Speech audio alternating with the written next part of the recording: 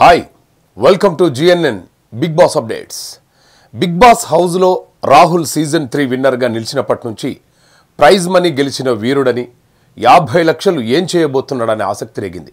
అయితే ఇప్పుడు సోషల్ మీడియాలో ఇంతకంటే ఎక్కువ రెమినేషన్ వచ్చిన వాళ్ళు ఉన్నారని మూడు సీజన్స్లో ఈ ముగ్గురే టాప్ అని ఒక వార్త హల్చల్ చేస్తోంది. ఇంతకీ ఆ ముగ్గురెవరు అనేది ఇప్పుడు చూద్దాం. సీజన్ త్రీ చూసినట్లయితే మనకు టాప్ ఫైవ్లో ఐదుగురు నిలిచారు.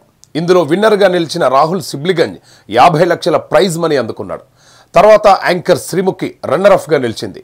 ఇక ఆ తర్వాత బాబా భాస్కర్ వరుణ్ సందేశ్ అలీ రైజాలు తర్వాత స్థానాల్లో సెటిల్ అయ్యారు ఇక్కడ అందరికంటే ఎక్కువగా రెమ్యునేషన్ అందుకుంది శ్రీముఖినే.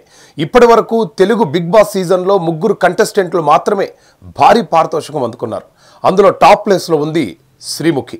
సీజన్ వన్లో పాల్గొన్న నటుడు సమీర్ వారానికి పది లక్షలు అందుకోగా సీజన్ త్రీలో హౌస్లోకి ఎంట్రీ ఇచ్చిన మొదటి వారంలోనే ఎగ్జిట్ అయిన హేమ కూడా దాదాపు వారానికి తొమ్మిది పాయింట్ ఏడు లక్షలు అందుకున్నట్లు సమాచారం.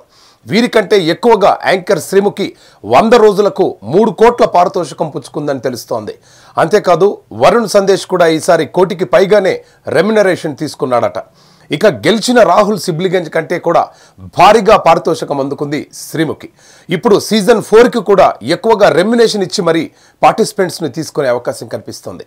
మరిన్ని ఇంట్రెస్టింగ్ అప్డేట్స్ కోసం జిఎన్ఎన్ టీవీ తెలుగుని సబ్స్క్రైబ్ చేయండి షేర్ చేయండి లైక్ చేయండి అలాగే కామెంట్ చేయడం మాత్రం మర్చిపోవద్దు. Thank you so much and have a nice day hi నేను మీ Jyoti. Please do subscribe GNN channel